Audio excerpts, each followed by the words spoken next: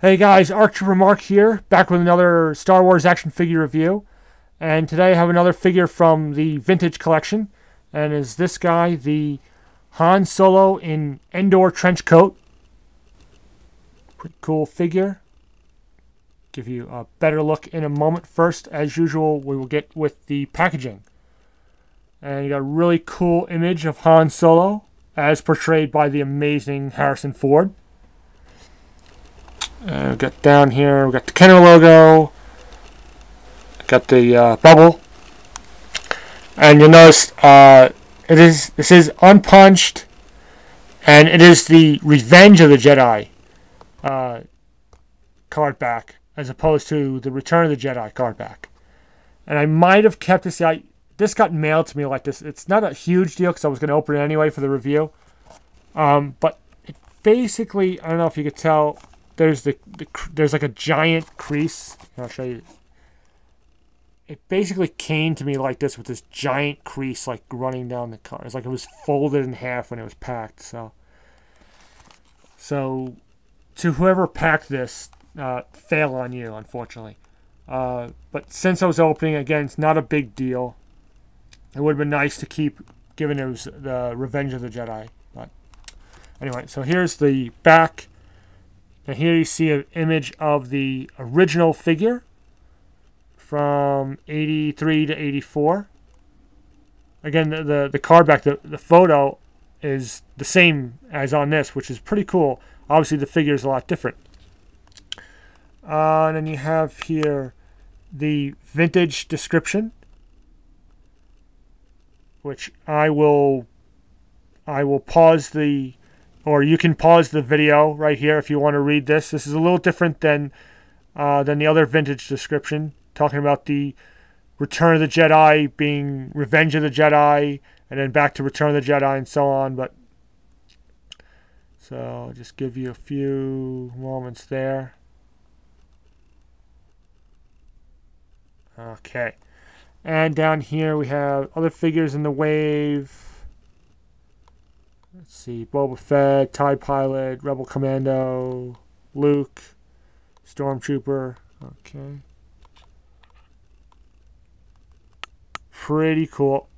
Okay, that's enough of the packaging. Now on to the figure itself. And now this is a really cool figure. Now back in, I believe it was 2006 for the uh, VOTC collection, there was uh, a Han Solo with Endor trench coat, or just trench coat. I just like to call it the Endor trench coat. I don't know. That was done. Now I have that figure still still on the card. So and I think that figure is the better figure of the two. Just kind of slight differences, not huge differences. I think the head sculpt is a little different, and the uh, the paint the paint scheme on the pants or the paint apps on the pants are just slightly different. I think that figure is a little different or a little better.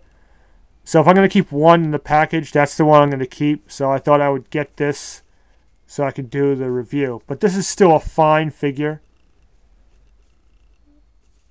Go all the way down. And you can see great detail on the coat with the stitching.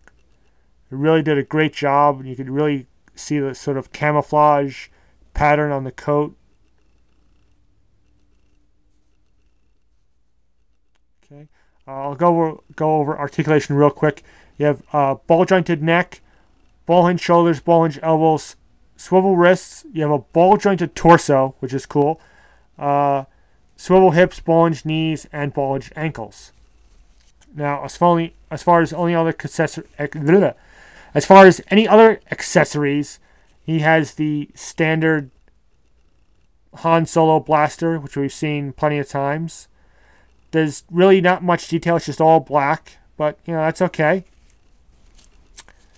And you go down, and it does feature, however, a working holster. So he holds the weapon very nicely in his hand, and it also fits very well in the holster. So let's see if we can. And also, um, let's see. The coat is removable. So I'll open it up a little bit.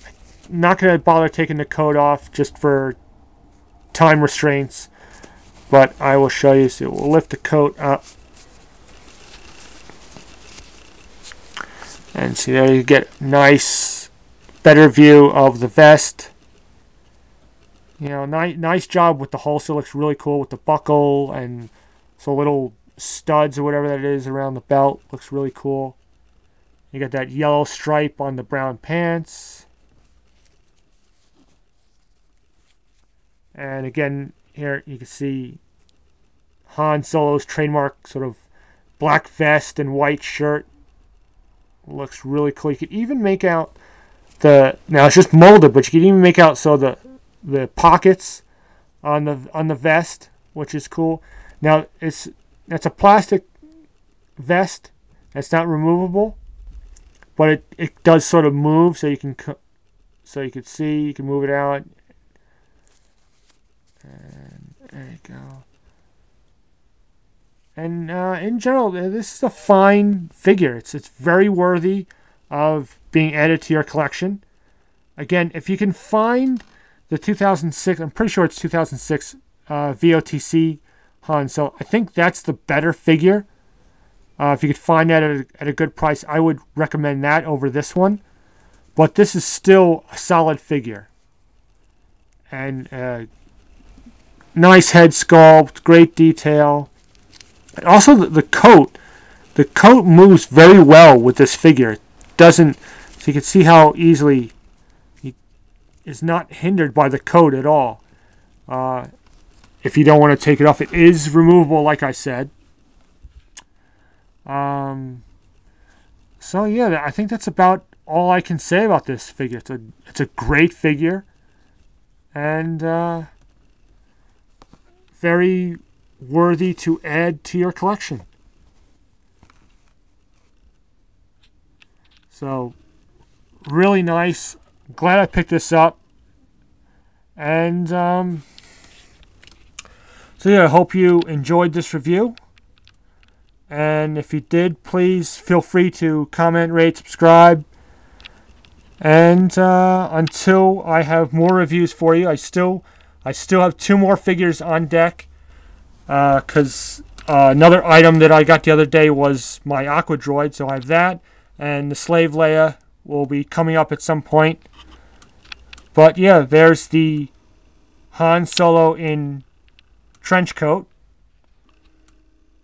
And uh, yeah, pick them up if you can find them. Awesome figure. And I'll sign off and say, May the Force be with you.